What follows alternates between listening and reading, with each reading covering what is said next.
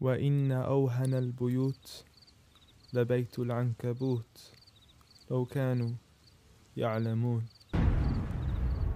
The weakest of homes is the home of the spider, if only they knew.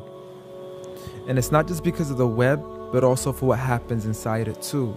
The most fragile of homes, home to the most ferocious of family feuds, a husband and wife relationship that is solely based on being used for consummation. See, as soon as they finish mating, the wife would then consume the body of her own husband. It's disgusting, and so can the children be too. See, as soon as they mature, they would chew upon their own mother as a source of food. It's sinister, it's crude. I don't want to imagine it, but it's true.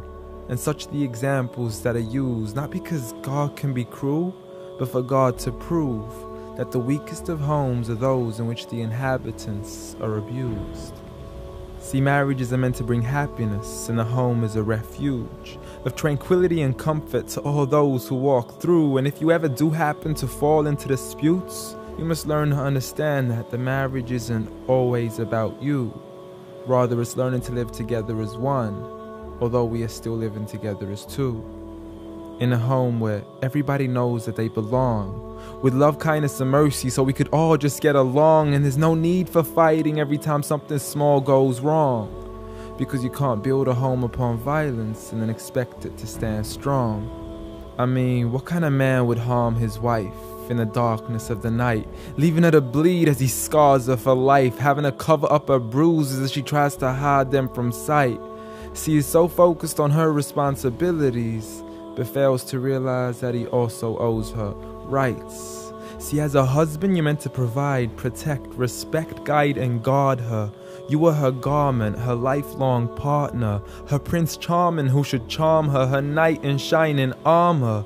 But a knight has turned into a nightmare as he spends his nights trying to harm her.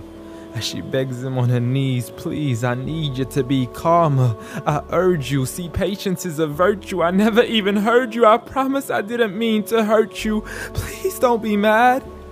And please don't let the kids see, because it's not right for a dad. It's sickening, it's sad that such scenes are happening in reality within the homes of so many broken families. It's a calamity that we forgot what the meaning of marriage is. Did you forget that the best of you in character is he who is best to his wife? The best of advice from the one who never harmed a servant, child, or wife in his whole entire life. Muhammad sallallahu alayhi wasallam. He was the best of examples in how to treat a woman right. See, if his wife had cooked something he had liked, he would eat it, and if he didn't, he would leave it without expressing an ounce of dislike. He would even refuse an invitation to food until his wife had also received an invite, and he would help around the house too just to make her workload light. He was the pinnacle of being polite. And he taught us that the strongest of men is not he who knows how to fight, but rather he who restrains his anger right at the moment of strife. So have patience, brother. I mean, you wouldn't allow it for your own mother, daughter, or sister. You wouldn't bear to watch another man punch and kick her, so the next time you even think to cause her trauma and hit her, you need to understand that she too is another man's mother, daughter, or sister.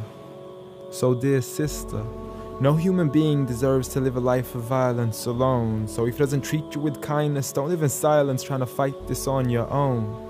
Rather seek help from God first, and don't be afraid to then pick up the phone and let your people know that you are no longer willing to live in the weakest of homes. Violence against women? Islam says no.